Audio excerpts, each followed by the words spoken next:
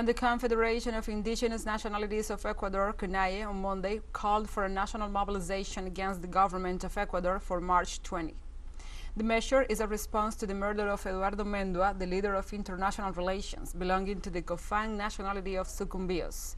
The president of CONAIE, Leonidas Iza, said that the government is installing violence, drug trafficking, and also hard killings in their communities. Besides blaming Lasso's administration for the death of the indigenous leader, Iza also pointed out that prior to the death of Eduardo Mendua, the organization had warned 13 times about the threats that were occurring in the Cofán territory during 2022.